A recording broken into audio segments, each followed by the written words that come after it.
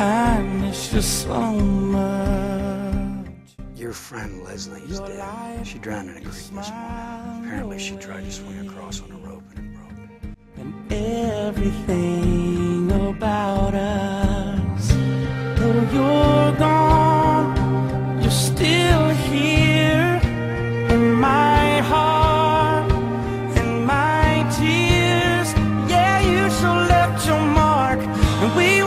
just getting started.